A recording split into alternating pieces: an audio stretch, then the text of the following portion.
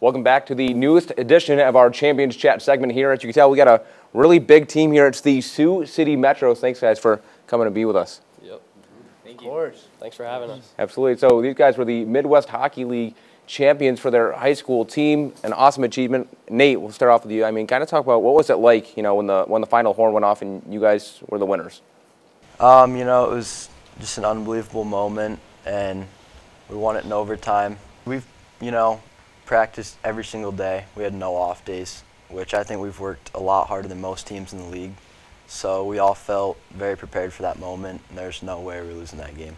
Absolutely. And well, moving on to you. I mean, obviously, a lot of these guys go to a lot of different schools, um, so it's kind of cool to get these connections with the kids that may not go to your school every day. I mean, kind of talk about the connection you've made with these guys here and everybody else who couldn't be here. You know, we've been playing hockey together since we were really young, most of us. Some of these boys are younger. Incredibly close. I mean, we hang out like every weekend, team dinners all the time.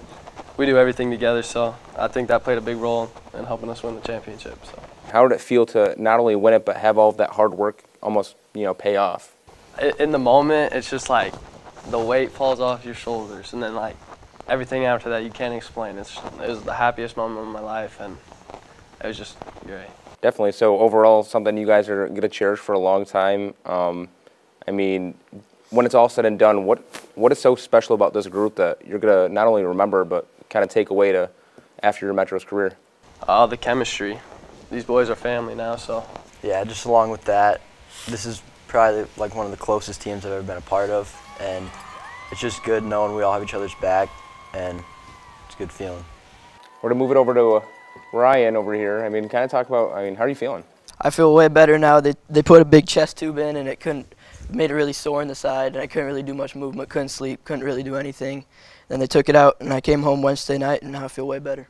We're certainly happy to have you here. I'm sure everybody else here is happy to have you around as well. Of Um, kind of talk about too. So these guys won the championship, and I mean, you were it mentioned you were kind of a big part of that, a big reason for it. I mean, kind of talk about how inspiring and how cool that was.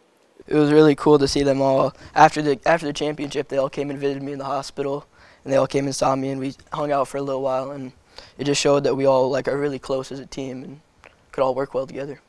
Awesome. Well, thanks so much, guys, for being with us. Thanks again. Uh, congrats on a great season and winning the championship.